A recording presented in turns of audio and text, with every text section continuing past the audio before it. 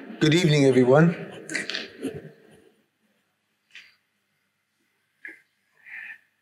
Your Eminence, Your Grace, bishops, Pro Chancellor, colleagues, and friends. Some of them are old friends and some of them new, but we're delighted to be able to have you here at the university this evening and to have you here in our Senate room. It's one of two or three chapels. Remember, we are coming, we were, we are a coming together of three different colleges, and each of them had chapels.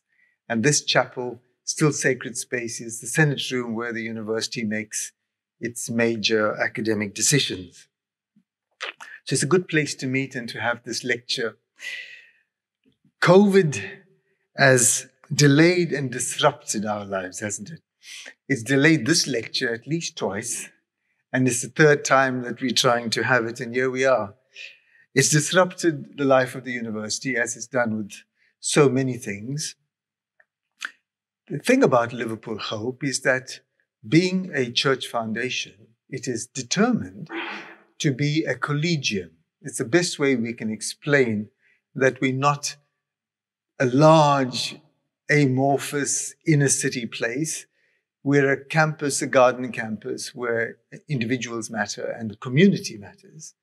And collegium, as you know in Latin, means simply fellowship. It's in the fellowship of academics and students that real learning takes place. And that is what this university is about.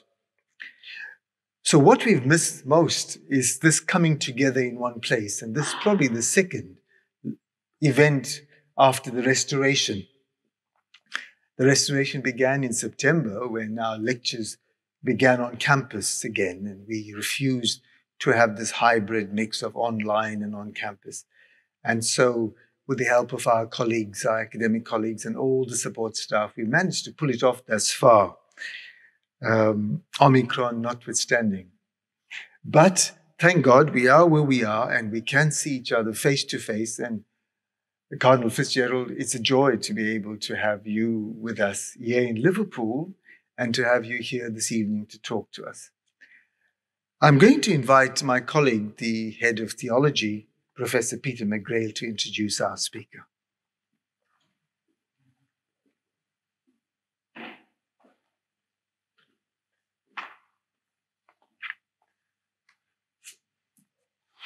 Thank you, Vice Chancellor, and good evening, everybody. I'm Father Peter McGrail, and as you just heard, I'm the Professor of Liturgical Theology here at Liverpool Hope. Before I introduce our distinguished lecturer this evening, I would like to extend a warm welcome to everyone, and particularly to acknowledge the presence here of a number of distinguished guests. I do so with the immediate apology in case I miss anybody out. We're delighted that Archbishop McMahon is with us, as also uh, Bishop Tom Williams, who is, of course, one of our previous distinguished lecturers. We also have with us the deans of both the cathedrals, the Very Reverend Sue Jones from Liverpool and Canon Tony O'Brien of the Metropolitan Cathedral. And we are also delighted to welcome the Reverend Crispin Pailing, the rector of Liverpool Parish Church, who I understand enjoys a very neighbourly relationship with our lecturer this evening. I'm also delighted to welcome Professor William Horbury, retired scholar of intertestamental studies.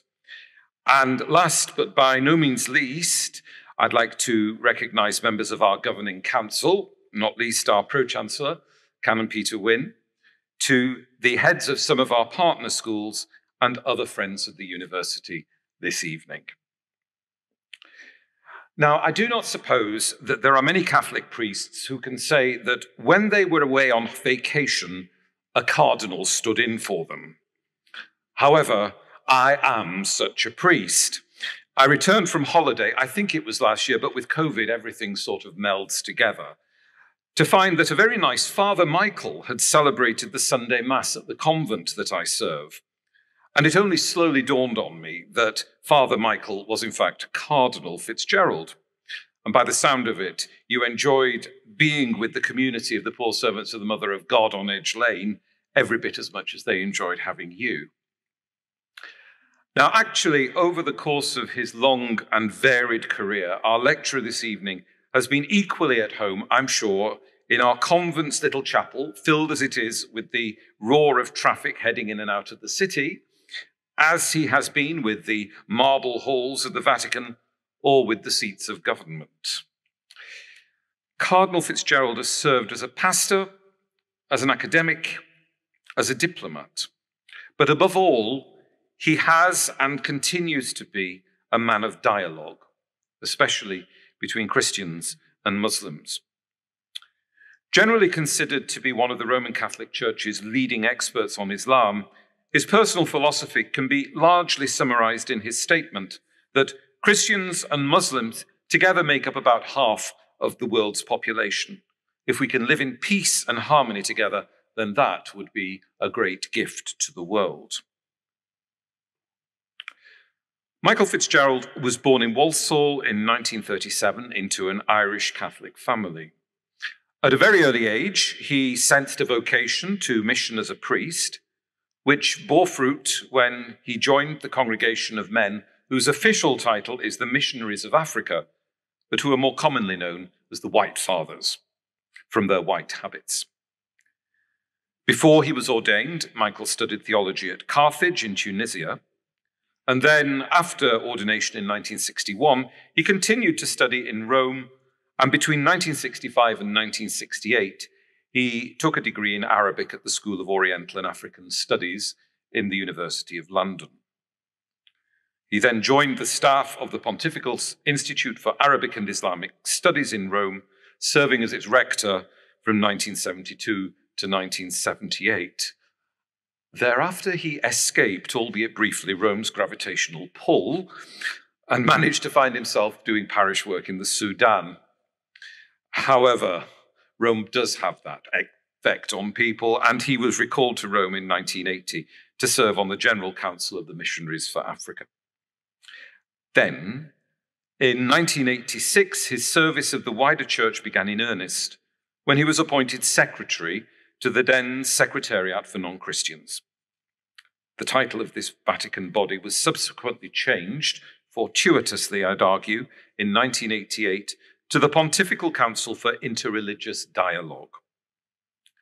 In 1992, Father Michael was ordained titular bishop of Nepte in Tunisia, and in 2002, he was appointed president of this Pontifical Council by, the, by Pope John Paul II and was raised to the rank of Archbishop.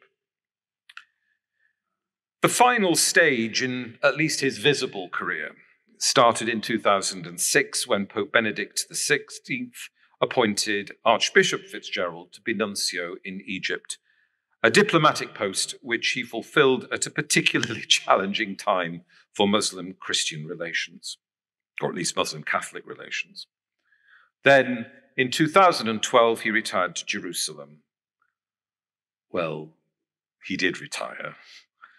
But in 2019, he came to Liverpool here and joined three other White Fathers to form a new community at the parish of St. Vincent de Paul the, on the waterfront. There, at the invitation of the Archbishop, they have a particular mission to respond to the needs of the city's growing African diaspora population and to engage and support people of all diverse ethnic origins.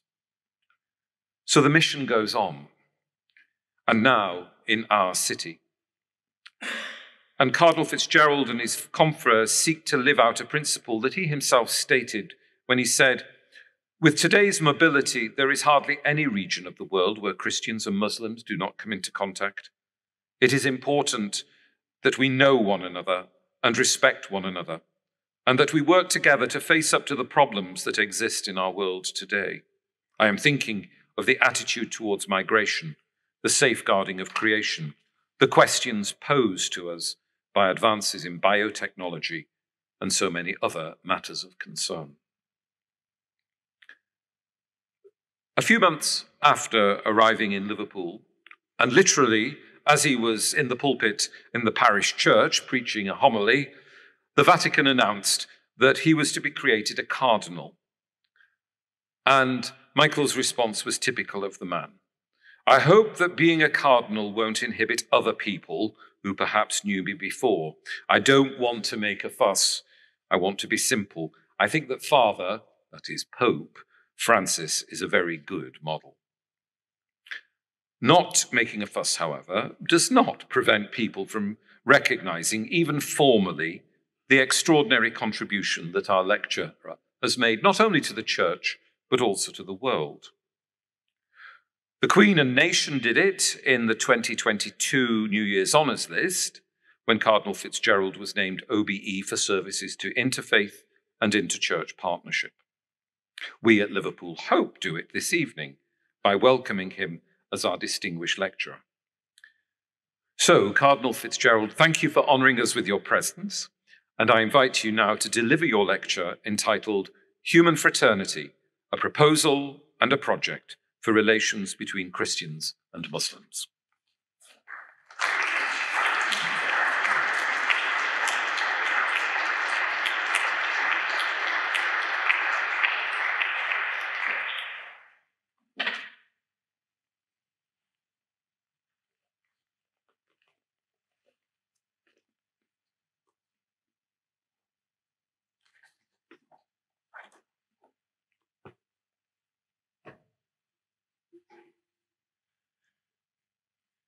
Thank you, Vice Chancellor, for the invitation to speak here this evening.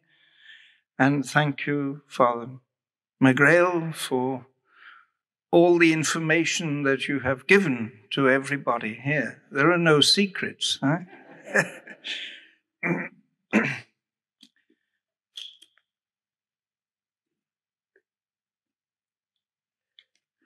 I brought the text of my talk in a, a nice blue folder which says a document on human fraternity.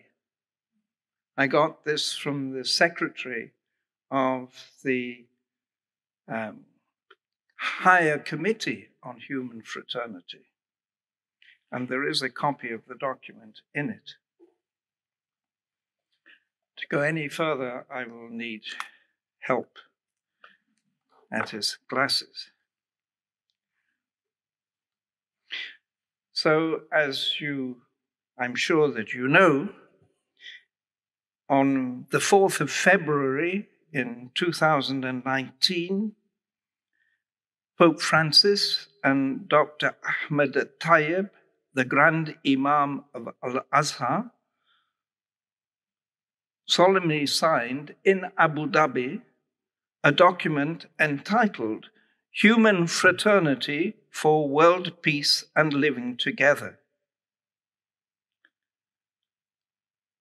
I want to speak about this document and to show that it didn't come out of the blue, I would like to first of all to call attention to its antecedents, examine the contents of the document, briefly, and then say a word about its follow up. Perhaps it would be useful to say a word about Al Azhar, because many people don't know what Al Azhar is. Well, it's often called Al Azhar Mosque, and it started as a mosque built in 969 in Cairo, the new city of Al Qahira, Cairo, founded by the Fatimids. Now, the Fatimids were Shiites, the Shiite Caliphate, in competition with the Sunni Caliphate in Baghdad. And so Al Azhar started as a Shiite institute, but then the Sunnis reconquered Egypt and it became a, a bastion of Sunni thought, a stronghold of Sunni Islam. It is, it is often referred to as Al Azhar University, and there is a university a renowned center of Islamic studies. attracting students from all over the Muslim world. But it extended its faculties to other disciplines agriculture, education, languages, medicine, and science. So it is a full university. At the same time, there is a network of schools and colleges throughout Egypt. So it is more than a university, it is an institute. I always refer to the Institute of Al Azhar, not the university. It contains also an important center for Islamic research.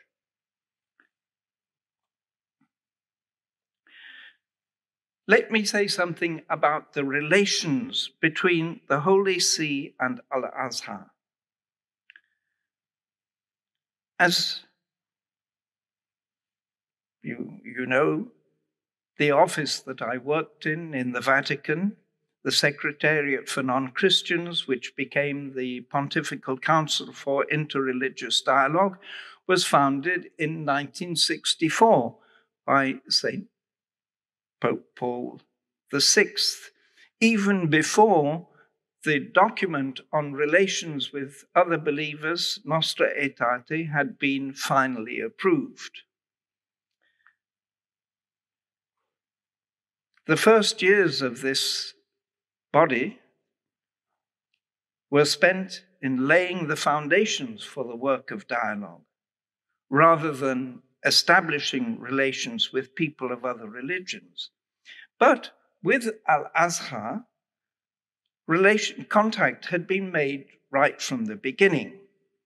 In March 1965, Cardinal Franciscus Koenig, the Archbishop of Vienna, who was a renowned scholar of religion and one of the leading figures in the Vatican, Second Vatican Council, he delivered a lecture at the University of Al Azhar on monotheism in the contemporary world. And this was very well received.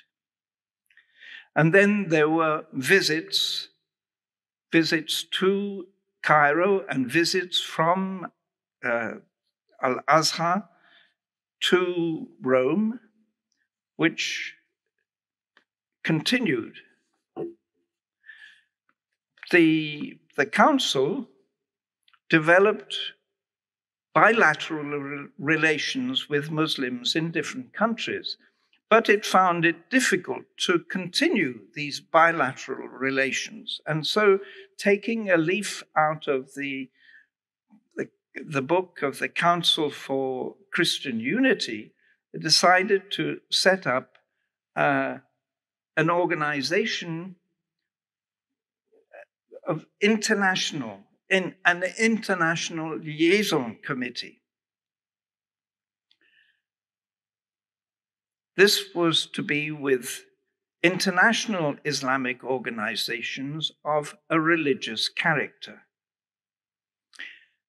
This committee was inaugurated in 1995 at the same time as the inauguration of the mosque in Rome. So various dignitaries were coming to Rome for that occasion, and so we were able to have the founding meeting of this international committee. Some people from Al Azhar attended that meeting, but Al Azhar was not included in the committee because we said Al Azhar is an Egyptian institution, though it has an international uh, outreach. It still remains a national institute, and so it doesn't fall within the, the criteria for the founding of the committee. That didn't please Al Azhar. And through the holy obstinacy, because I always say that of Pope John the 23rd, uh, he was wholly obstinate, uh, wholly without the H. Uh, the, the, we were pestered for three years until we signed a special agreement with Al Azhar. And so we started meeting one year in Cairo and one year in Rome. And uh, these annual meetings. And in the year 2000, as part of his Great Jubilee program, John Paul II visited Egypt in the steps of Moses, and he went to Al Azhar, where he was warmly welcomed. Usually, Al Azhar is very sedate, but for Pope John Paul II, everyone was, was clapping and they were, they were delighted with his visit.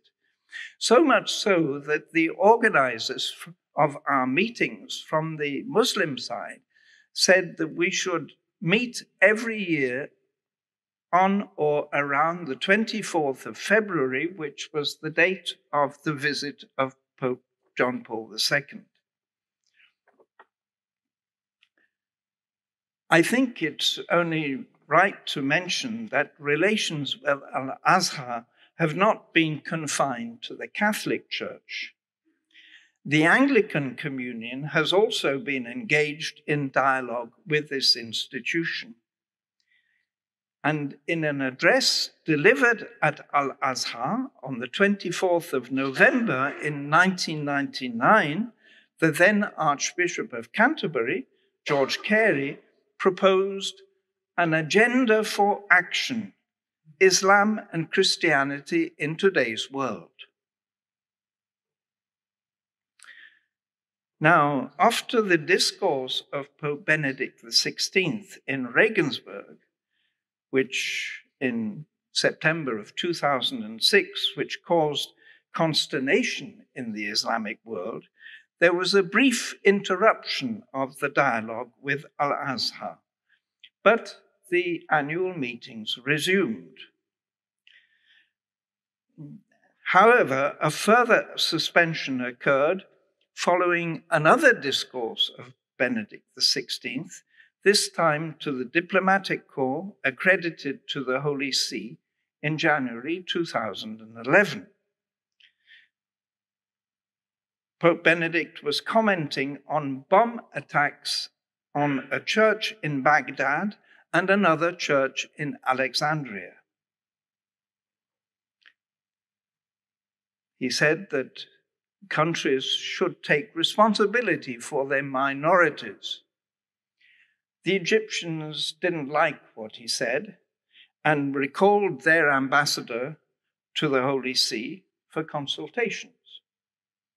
The Vatican, unfortunately, didn't have the initiative or the, the gumption to invite me to return to Rome. So I had to stay in Cairo, where I was for a time persona non grata, not very pleasant.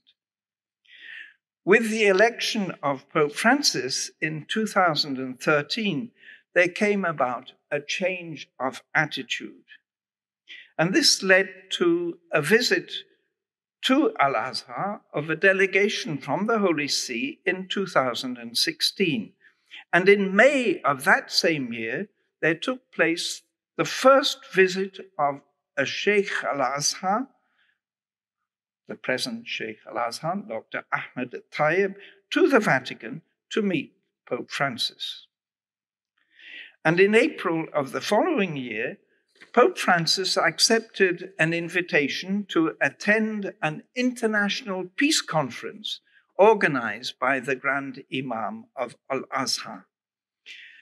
Later in 2017, Dr. Ahmed Tayyib was in Rome to participate in a conference organized by the community of Sant'Egidio.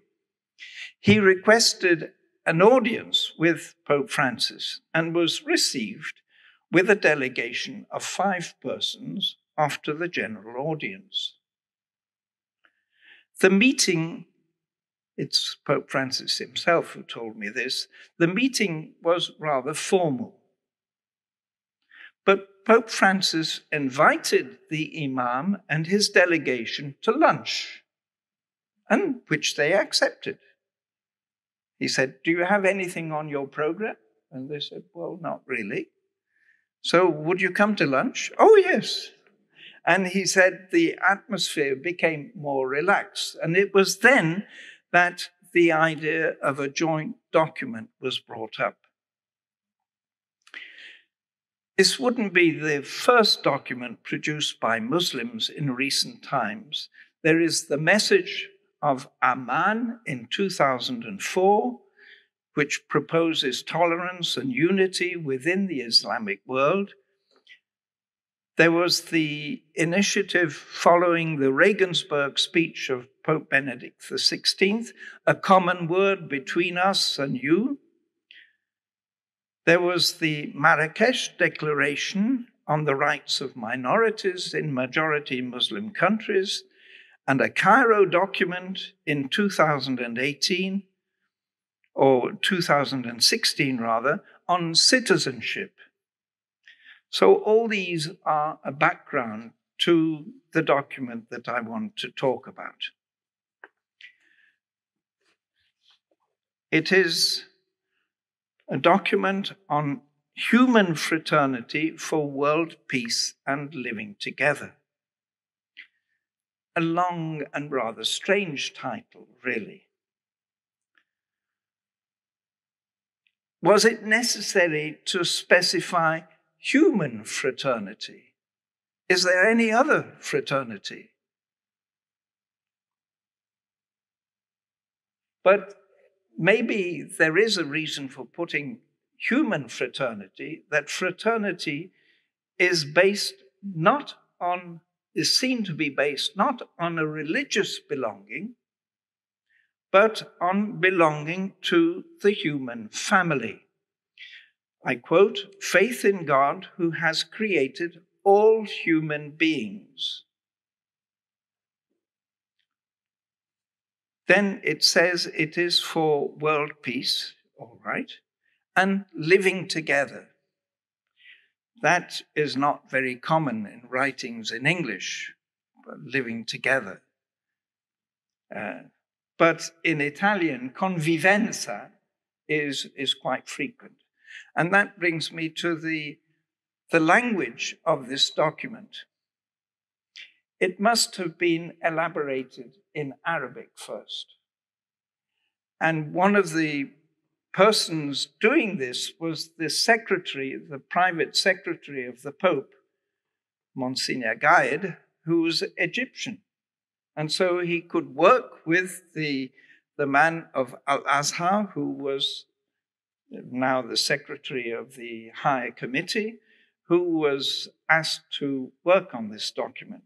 So they could work together in Arabic. But it had to be translated to Pope Francis. So I presume that it was done in Italian. So the, the two official languages of the document are Arabic first and then Italian, not English. So you can criticize the translation without, without any difficulty. The introduction to this document consists of three paragraphs. The first states that faith in God, the Creator, leads to considering all human beings as brothers and sisters. I know that fraternity sometimes causes difficulty, like fratelli tutti. Some half of the population feel that they're excluded, they're fratelli tutti, but it includes sisters. You'll excuse us for that. Any human language is, is, is um, inadequate. It says that this common uh, belonging to the human family entails a common responsibility for safeguarding creation and supporting all persons, especially the poorest. The second paragraph talks about the way the document was written. It refers to several meetings characterized by a friendly and fraternal atmosphere in which the joys, sorrows, and problems of our contemporary world were shared. You can hear Gaudium et Spes in the background of that. Finally, the introduction of reference is made to progress, both scientific and technical, and in therapeutics and in the field of communications, but also there is a reference to poverty, inequality, conflict, and extremism.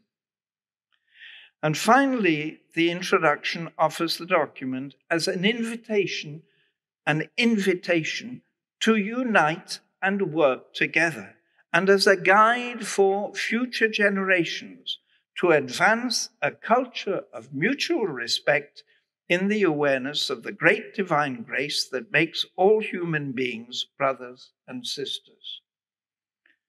So we are made brothers and sisters, and we have the responsibility for living that. The document then goes on with a list, a series of 11 invocations.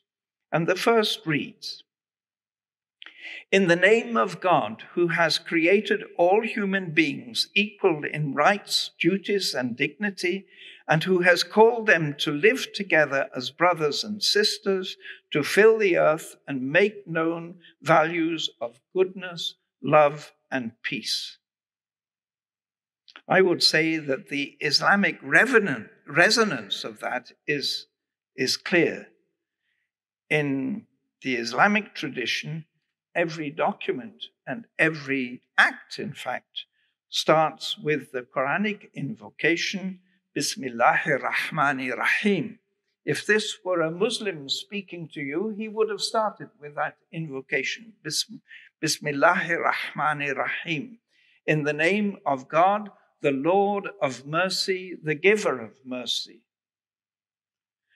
But the invocations go on to invoke human life, innocent human life, and different categories of people in the name of the poor, in the name of orphans, in the name of widows, refugees, victims of wars, persecution, and injustice. And then it goes on to ideals such as human fraternity, that embraces all human beings, unites them, and renders them equal. There is a further invocation of this fraternity torn apart by policies of extremism and division, by systems of unrestrained profit. And then also are uh, invoked the ideals of freedom, justice, and mercy. I want to read the final invocation. In the name of God and of everything stated thus far, Al Azhar al Sharif and the Muslims of the East and West, together with the Catholic Church and the Catholics of the East and West, declare the adoption of a culture of dialogue as the path mutual cooperation as the code of conduct, reciprocal understanding as the method and standard.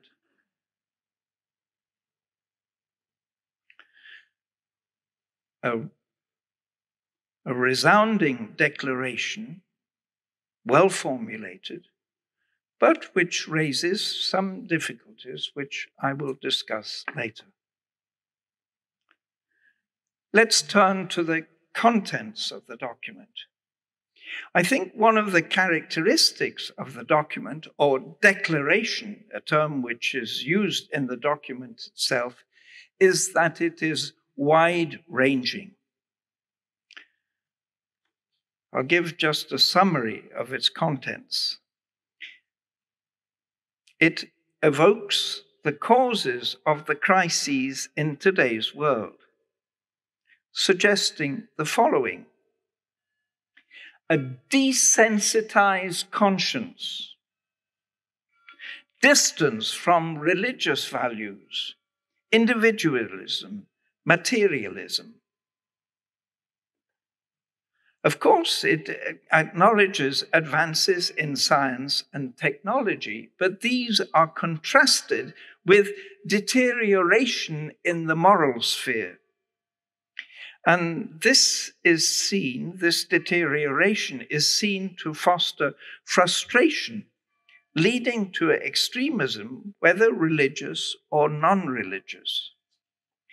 And this extremism is itself the source of conflict. And here reference is made to a third world war being fought piecemeal. Piecemeal. That's an expression frequently used by Pope Francis. It is added that the conflict is sometimes fueled by narrow minded economic interests there's a mention of situations of injustice and catastrophic crises which meet with an unacceptable silence on the international level.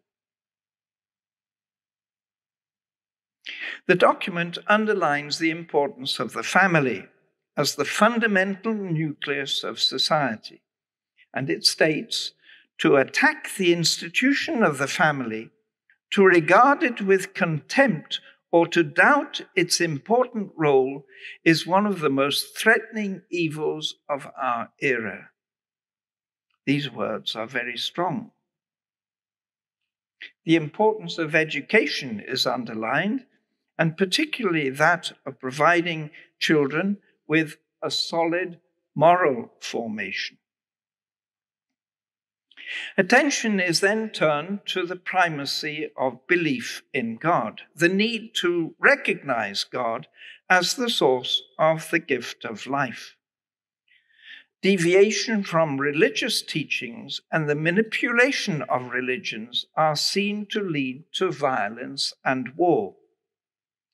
Accordingly, a strong appeal is made, and I quote, to stop using religions to incite hatred, violence, extremism, and blind fanaticism, and to refrain from using the name of God to justify acts of murder, exile, terrorism, and oppression. An important condemnation. The authors, noting that this document accords with previous international documents, express their firm conviction that authentic teachings of religions invite us to remain rooted in the values of peace. Freedom of belief, thought, expression, and action is upheld recognition is given to pluralism and diversity as willed by God in his wisdom. Justice based on mercy is advocated. Dialogue, both cultural and religious, is encouraged. The protection of places of worship is considered a duty. Terrorism itself is roundly condemned including support for terrorist movements. Full citizenship is called for. Calls are made to respect the rights of women, children, the elderly, and the weak.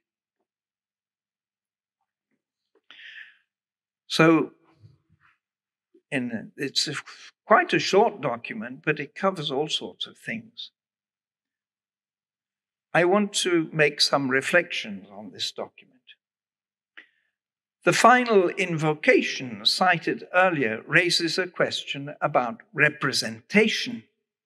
Can there really be a parallel between Al Azhar Sharif and the Catholic Church? The leaders of these two bodies are the joint signatories of the document but their roles are not exactly the same. Francis, as Pope, could be said to represent all Catholics, of the East and the West, maybe we would say of the North and the South.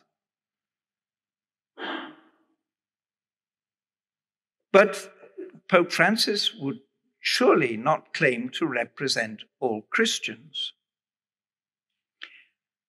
Dr. Ahmed Tayyib, as Grand Imam of Al Azhar, certainly doesn't represent all Muslims of the East and West.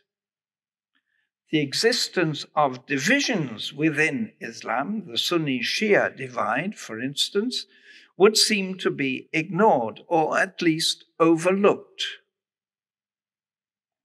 But it could be added that even among Sunni Muslims, the authority of Al Azhar doesn't go uncontested.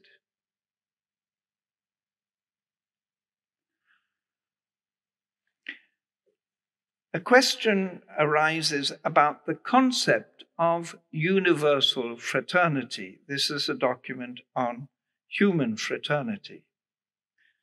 Muslims who support this idea of a universal fraternity will quote the Quran, which states the believers are brothers. That is Quran, Surah 49, verse 10. Of course, that depends now on how you interpret believers. Is, is, does this refer to all who believe in God or in an absolute being? Or is it restricted to true believers, in other words, to Muslims only? Another, uh, an interpreter of the Quran, Yusuf Ali, proposes the believers are but a single brotherhood. And he adds in a note the enforcement of the Muslim brotherhood is the greatest social ideal of Islam. We might be a bit suspicious then about this idea of universal fraternity being re- or restricted or unrestricted. Before criticizing that restriction, I think it's good for us as Christians to remember that the earlier practice was to restrict the term brothers to those belonging to the Christian community. This was certainly true up to the time of St. Augustine, who addressed the Donatists, heretics, as his brothers because they were follow, fellow Christians, though they didn't want to be considered as brothers. But he still said, You are our brothers. What about from the Catholic side? Is there a universal fraternity? This fraternity is not based on religious belonging, but rather on belief in God, the creator of all human beings. I would say that that is the starting point of Nostra Aetate, this document, declaration on the relation of the church to non Christian religions. It states in the first paragraph, all men, excuse me, that's how it was translated at that time. All men form but one community. This is so because all stem from the one stock which God created to people the entire earth, and also because all share in a common destiny, namely God.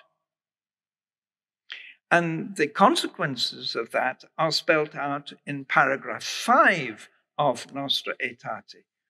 We cannot truly pray to God the Father of all if we treat any people other than in brotherly fashion. For all men are created in God's image. Man's relation to God the Father and man's relation to his fellow men are so dependent on each other that Scripture says, He who does not love does not know God. Of course, the mention of God as Father might cause difficulties for Muslims because the name Father is considered as disrespectful, as not observing divine transcendence. So, Father is not one of the 99 beautiful names of God. But as the disjoint document shows, the idea of common belonging can be developed without mention of the fatherhood of God. There is another question. The pluralism and the diversity of religions, color, sex, race, and language are willed by God in His wisdom through which He created human beings. That's a quotation from the document. That aroused serious uh, criticism from among Catholic theologians. If they had said the plurality of religions, there would have been no difficulty. There exists de facto a plurality of religions, that's evident. What is questioned is whether this plurality is to be considered de jure, in other words, as directly willed by God. Here again, from the Islamic point of view, there would be no objection at all. Let me give you a quotation from the Quran, very often quoted. If God had so willed, he would have made you one community, but he wanted to test you through that which he has given you. So race to do good. You will all return to God, and he will make clear to you the matters you differed about. Quran, Surah 5, verse 48. In other words, God has made us different so that we could know one another and cooperate and rival each other in good deeds for the benefit of all. What can we say from the Catholic side?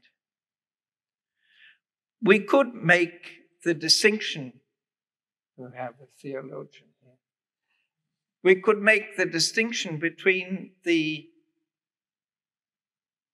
direct will of God and God's permissive will at least that. God has permitted that different religions developed. But I think that something more positive can be said. Based on the documents of the Second Vatican Council, Lumen Gentium, the dogmatic constitution on the church, states clearly in number 16 that the plan of salvation includes those who acknowledge the Creator, in the first place, amongst whom are the Muslims. If you talk about the plan of salvation, that is surely the will of God. No? It's what He wanted. And it includes Muslims, and it, it can include people of other religions too. These religious elements come from God because Nostra Aetate says that the Catholic Church rejects nothing of what is true and holy in these religions that it has talked about. And these religious elements come from God. As Pope St. John Paul II has pointed out, the Spirit brings these elements about in human hearts and in the history of peoples, cultures, and religions. An official document of uh, an encyclical, Redemptoris Missio. Let me finish with some brief remarks. I think that this document is courageous, practical, and realistic, though it is wide ranging. It's courageous of the two religious leaders to sign this common document and express their readiness to engage the members of their respective religions in a process of dialogue. They will surely not be surprised if the document has met with opposition from certain quarters. It's a practical document. I think you will have understood from the summary of its contents that this document is geared more to cooperation in practical matters than to a deepening of theological understanding. It's realistic, it takes into account the change and progress in the world today, but also recognizes the presence of constant conflict and the injustice of inequality. As I've said already, it's very wide ranging, touching on so many different points. It is in that sense, it is an ongoing process. The authors of the document recognize that it is not a definitive statement, but rather an invitation to engage in a work in progress. And that's why I gave in the title a proposal and a project. They pledged to make known the principles contained in this declaration so that they can be translated into policies, decisions, legislative texts. They express the hope that the document may become an object of research and reflection. I say that in this university, Hope University. So it is a hope that is expressed, and hopes can be realized. No? This lecture is the realization of a hope, as you said. We planned it several years ago, but uh, it's happening now. So a hope can be expressed. There's an aspiration that uh, the document may constitute an invitation to reconciliation and fraternity among all believers, indeed, among believers and non believers, and among all people of goodwill. That's not my invention, that's a quotation from the document. And for this purpose, an application committee has been set up, the Higher Committee of Human Fraternity it has 11 members, only two are women, but they are distinct women.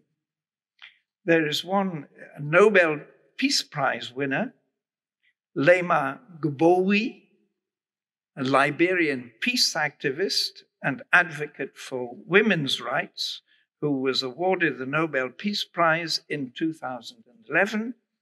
And the other woman in the committee is Irina Bokova, the former director of UNESCO, who is of the Orthodox tradition. There is a representative of the Jewish faith in this committee, Rabbi Bruce Lustig, senior rabbi of the Washington Hebrew congregation. And this is a sign that dialogue and cooperation is to be pursued not only by Christians and Muslims, but by and with others too, whether believers or not. I think that a further sign of outreach within Christian circles is the inclusion in the committee ex officio of the Secretary General of the World Council of Churches. This, I end, this committee has uh, been active. It promoted a day of prayer and fasting for the end of the pandemic. It was instrumental in having the 4th of February recognized by the United Nations Assembly General as the Day of Human Fraternity.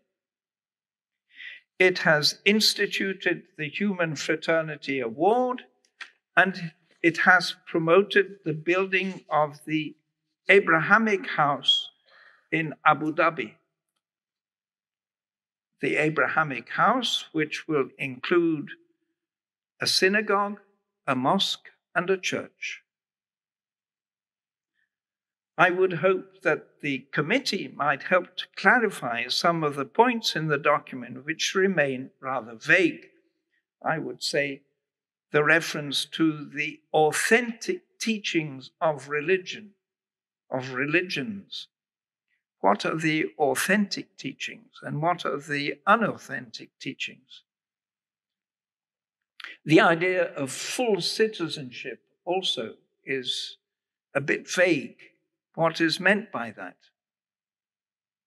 But the committee has shown that its aim is to fulfill the program formulated in, I already quoted this, it's a kind of slogan the adoption of a culture of dialogue as the path, mutual cooperation as the code of conduct, reciprocal understanding as the method and standard.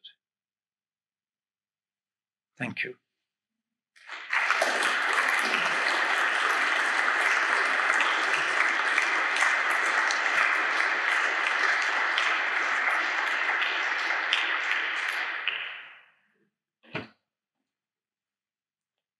Thank you, Your Eminence. You've given us quite a lot to think about there. However, the digestion of that, I think, begins now. So I'm inviting questions from the floor. Um, if you're happy to take them. Yes, sure. Okay. I, if I might ask one to start, because people are probably thinking of their questions. Um, I know these are very early days. Could you tell us what the, the reception has been of this document within the Roman Catholic and, and within the various uh, Islamic communities? I can't tell you very much about that. In fact, um, I think that the document is not well known. So that's why I chose to speak about it, to make it known, and I'm always willing to speak about this. Um, the it has been adopted because Pope Francis is fully engaged in this, and so his collaborators, um, the present president of the Pontifical Council for Interreligious Dialogue, was recently on the 4th of February celebrating this day of fraternity in Abu Dhabi with a panel discussion that was brought different people together. So I don't know that uh, how how far it has been accepted in the Islamic world either, in the Muslim world. Um, I must say I'm retired, so I don't follow these things too much. I should do more, I suppose. Thank you very much. So we've had a chance to think. Do we have any questions, please, from the floor? Somebody. Yes, thank you. Sister Anne. I'm trying to find Yes. I'm trying to find um, a way of buying or curing hard coffee.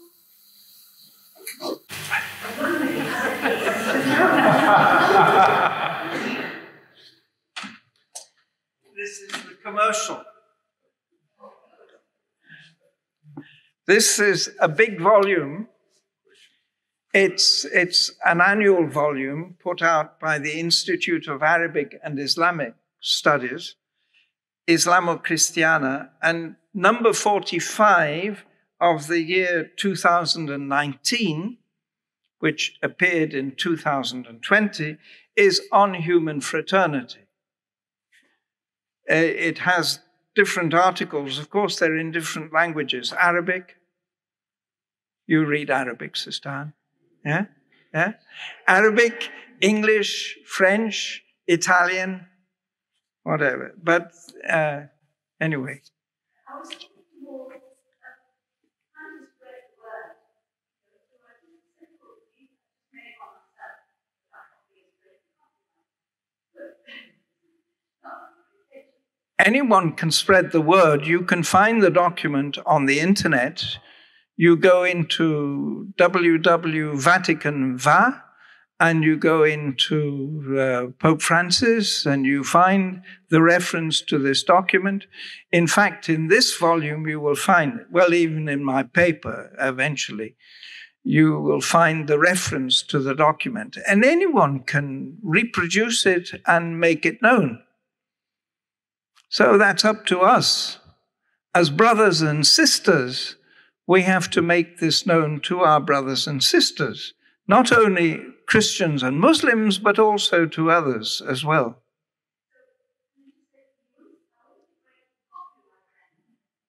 I don't have, I don't, I didn't photocopy enough for 60 to give to each one.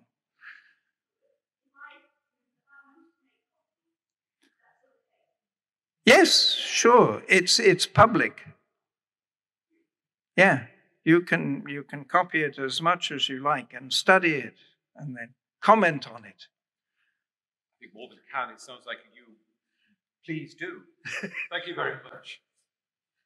I appreciated your um, efforts to include women in your talk. I thought perhaps um, you were slightly overcompensating. I mean, it, it strikes me that this is a very male document where your attempt to make it inclusive was perhaps going rather further than the original. I'm thinking particularly of the phrase that we, of course, need to look after women, women children, elderly, and weak. Um, that that comes in lots of documents, and I, as I read that, I thought, yes, the women won't be happy with that. I recognize that. Um, let us hope that the member of the committee, especially Leymah Gbowee, who's for women's advocate for women's rights, will be able to get the committee to uh, have a, a different attitude that women are partners rather than poor people who have to be helped. If, if you could just repeat the final section, what role around is the role around economic equality? Economic equality. If I can speak, I have no right to speak for the members of the higher committee or uh, for Pope Francis or for Dr. Ahmed Tayyib. I can't really speak for them, but I think that this document is just to stimulate reflection. And so it has to be taken up on different levels. And the economic imbalance and economic inequality in the world is one that needs to be taken up by different people, not them. They're not going to do it they are going to inspire people to do it out of common concern for humanity. It's like uh, Laudato Si of Pope Francis uh, on the care of creation. That needs to be taken up, and it is being taken up by so many people, but there is a need to continue in that work. And I think um, on the economic side as well, you notice that they do criticize that conflict comes from uh, over greedy people, even, even, even policies that are, I forget the term that is used. But uh, so I think that that is something you can't concentrate on everything at one time but you have to take something, and it's like the days of days of the poor, days of women, not poor women, but days. You take up one year you take up some aspect and you ask people to concentrate on that. So I think that this would be, but you can suggest it to the committee.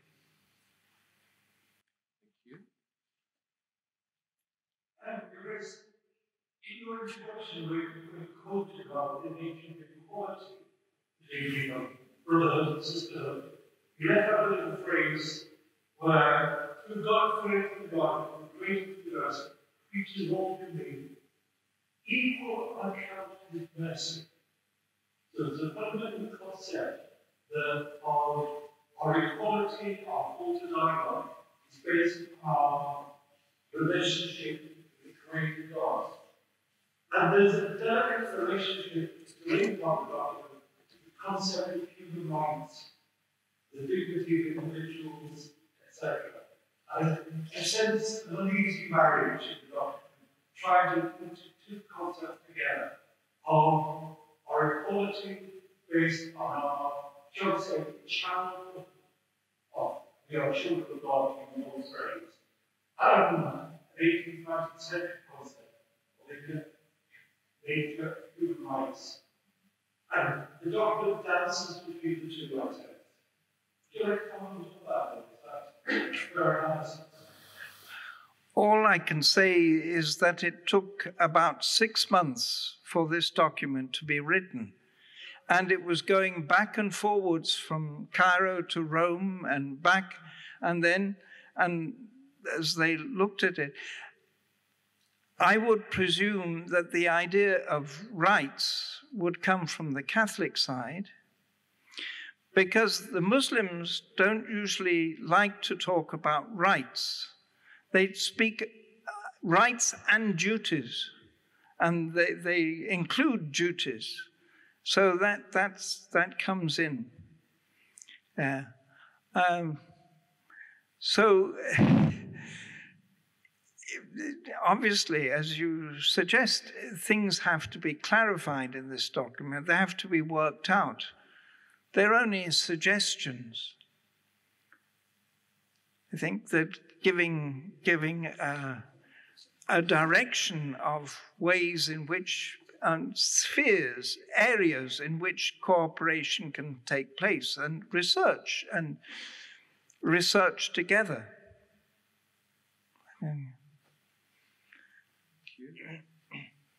Please.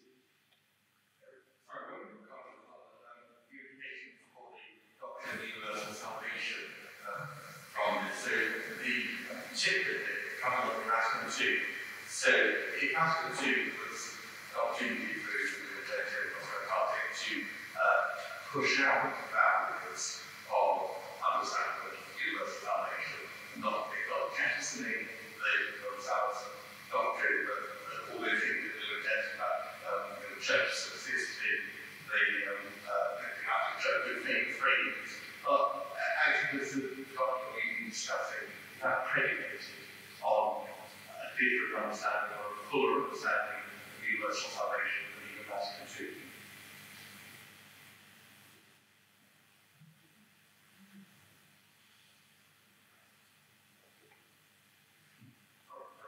II. Well, I, I think I think that the documents of Vatican II are pregnant in a way. They can give birth to new, newer ideas, but that is sometimes difficult. Um, in our discussions in the Vatican on documents that our council was producing, uh, we had discussions with this is the document uh, Dialogue and Proclamation, which was produced together with the office or the dicastery, the Congregation for the Evangelization of Peoples, so the missionary element, and also the doctrine of the faith. And one of the drafters of the document was an expert in Vatican II. He knew the documents off by heart. And he, and he would put them together a statement from one document and a statement from another and, and draw a conclusion from that. And they would say, No, you can't say that. You can't say that because it isn't stated explicitly in the document. Uh, Pope Francis himself has said that his teaching, including this document, is perfectly in, in conformity with the teaching of Vatican II. And I think is right. I mean, so uh, yes, maybe, maybe I would say yes to your question. But I think if you understand Vatican II well, it, it, it's not something new. It's just a greater clarity on what Vatican II meant. Nuncio, so as the representative of the Holy See in Egypt, I had the rank of ambassador and had to present my letters of credence to President Mubarak. Among the group of us who presented at the same time was the ambassador of Bangladesh, a very distinguished lady. And uh, she was not at all favorable to Al Azhar. Many Bangladeshis were coming to study in Al Azhar, and she said they were ruined. Ruined because they spent so much time outside their own country and studying and studying in Arabic that when they came back, they didn't know what to do. They couldn't do anything. And I think that, that there, there are still many students who are coming to Al Azhar to study, but um, the, the, the it's it's the way it teaches and it's uh, is not approved by everyone. I would say the same for the Roman universities. Uh, my mother, for instance, when I got a degree from the Gregorian University, that didn't count at all. When I got a degree from London University, oh, yes, that was something. Yeah. Uh, uh, the Ahmed Tayyib, interestingly enough, was a member of the inner council of the party, the political party of uh, Mubarak. When he was made the, before he was made the president, the Imam of Al Azhar, he resigned from that position. But he was still appointed by the government. So the Imam of Al Azhar is a government import, in appointment. But Dr. Tayyib is trying to gain the independence of Al Azhar. He wants it to be an independent institution, not dependent on the government and not having to follow government lines. There, there is, there has been, I think, some tension between the, the current president of Egypt, al-Sisi, and Al Azhar. I don't know the, the constitution of Egypt, I'm sorry. I haven't studied the constitution of Egypt, so I don't know the, the exact position of Al Azhar now. But the, I would say that the position of Dr. Tayyib is in some ways comparable to the position of Pope Francis, in that what Pope Francis is doing is not accepted by all members of the church. And what Dr. Ahmed Tayyib is doing is not accepted by all members of Al Azhar. There is a, a, a group within Al Azhar that resists the, the actions of its Imam. Or maybe not openly, but at least, and as one says, in the background. Thank you very much. You're welcome. Thank you.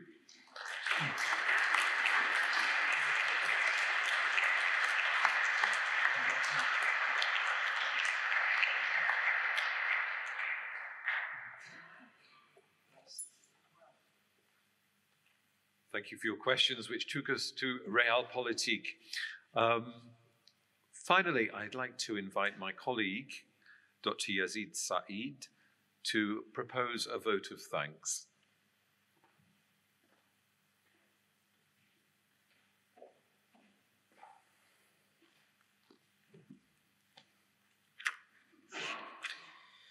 Thank you very much, Peter. Thank you, Vice Chancellor.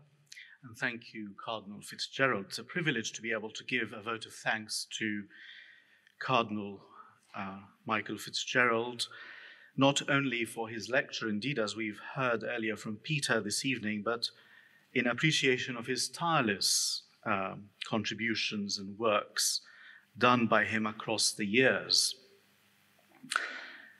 In his life and ministry, uh, he has covered great distances. And I understand that this last year, uh, notwithstanding the current uh, restrictions, he was still covering great distances, marked in the climax of the year with a well deserved acknowledgement by Her Majesty the Queen. I wanted to begin in giving thanks to this with a story um, from Jerusalem, where Cardinal Fitzgerald lived. He lived uh, not very far from the Greek Orthodox Patriarchate, and it's in that Greek Orthodox Patriarchate, if you visit, on the wall of the office of the Patriarch himself hangs a large portrait in oil. It's not a icon of Christ Pantocrator, as you might expect, nor is it a venerable patriarchal predecessor. It's not a Christian uh, portrait at all. It is an oil painting of a seated, turbaned alim, scholar, holding not one but two staff of Muslim religious office. He stares directly ahead of him with a stern and powerful uh, look as a judge, a qadi. And it's a kind of look that you might find in the pages of medieval Islamic literature. This painting of this Qadi in Jerusalem around the year comes from around the year 8, 1860 to 61, when an, a sectarian earthquake, you might say of about 7.5 or so in Middle Eastern history scale, struck the region of Greater Syria. The Christians of the region became the target of Muslim mobs. Um, and as the tremors from that earthquake reached Jerusalem, it was our friend in the painting, the powerful and dignified judge, the Qadi, who stepped forward and decided he would have none of it. The Christians of Jerusalem will not be touched.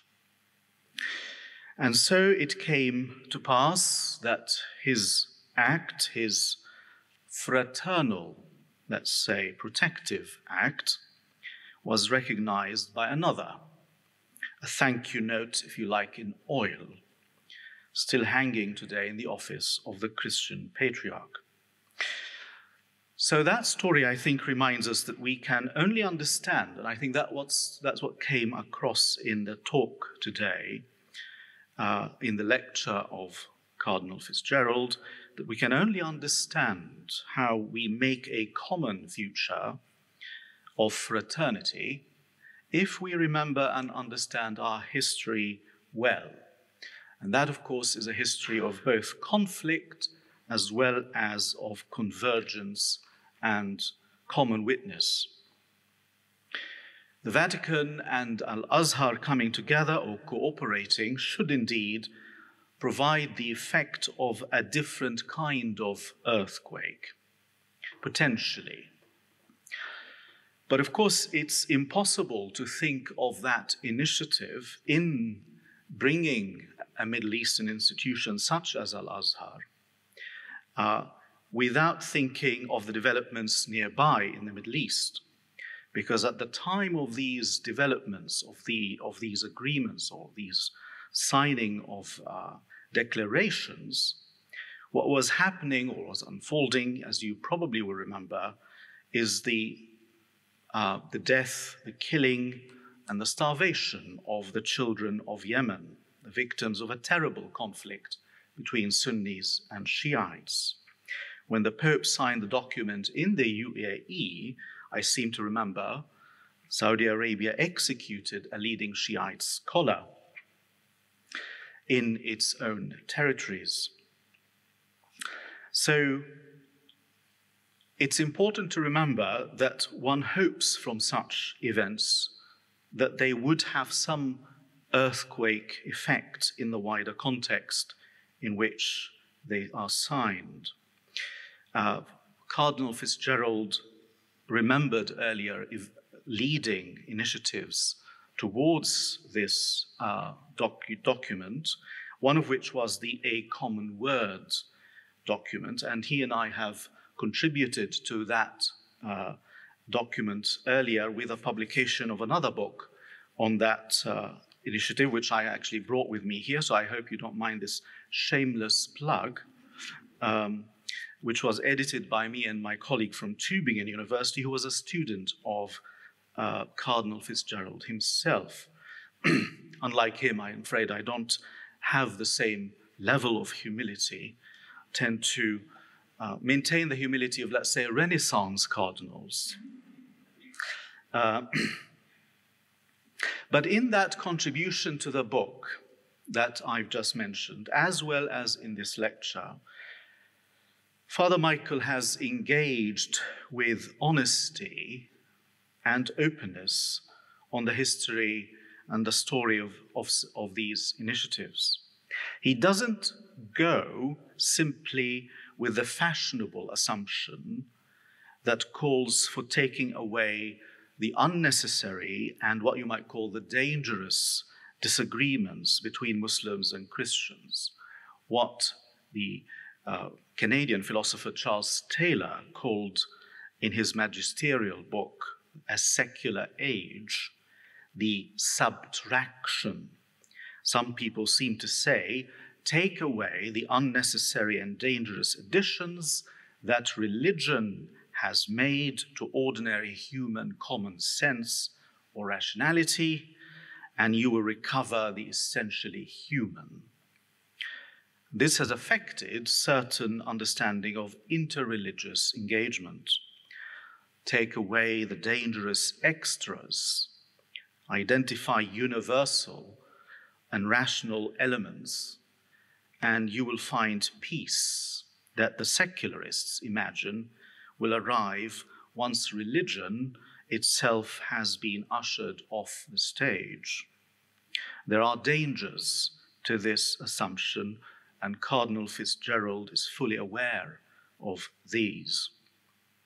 If we take as a starting point the idea that what matters in any human activity is a primitive, natural set of attitudes or beliefs, that the developments of human history just complicates things, we end up with a very eccentric view of history itself, as if we need to unlearn what history had led us to think or feel. And Islam and Christianity, which emphasize the central and normative importance of central events in history for their identity and distinctiveness, to make that claim would be a very uh, particularly odd thing to do. So, our challenge, I think, of continuing this process of fraternity have to do with avoiding this strategy of negating differences, denying history. To say that Muslims and Christians and others converge on fraternity is not to say that fraternity is a neutral basis on which doctrine are doctrines are subsequently added. But at the same time, the other important element that came up from this lecture, as my examples from the Middle East earlier have meant, uh, suggested, this is not just an empty call for a pious cliche either, as the Cardinal himself emphasized. It's significant, it's courageous, is there to remind us in the first place that maybe fraternity is not where we are. How does that affect us here? Westerners may perceive Islam globally as a powerful and threatening, but they don't begin to feel what it is to what it is like to belong in the West to what is locally a minority, economically challenged, culturally marginalized, or the object of fear and prejudice. For the Islamist agitator might see the opposite, might see a huge Western conspiracy aimed at destroying Islam, and doesn't see that a Western liberal often only wants to be left alone not to destroy anything. So many of our moral standoffs seem to be a confrontation of mirror images. So thank you, uh, Father Michael, for doing what you do, um, and if I may say so, for adding to the right tapestry of that civil understanding of life in this city, bearing witness to such a conviction of vision that needs robust defense. Uh, in all your work and in our various meetings, you have shown great fraternity.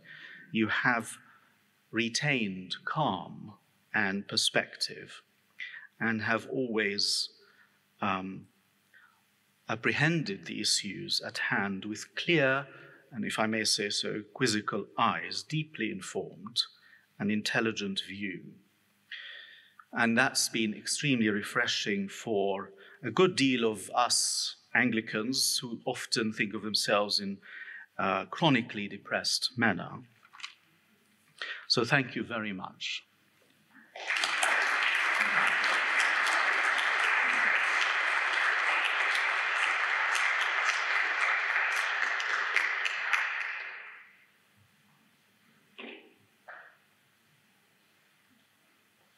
Thank you very much, Yazid. So I'd like to thank you all for, for joining us this evening. Um, as the Vice Chancellor said, we're delighted that we can actually get back into the round of engaging face to face, even behind the masks. Um, and I look forward to us gathering again for our next distinguished lecture. Thank you again.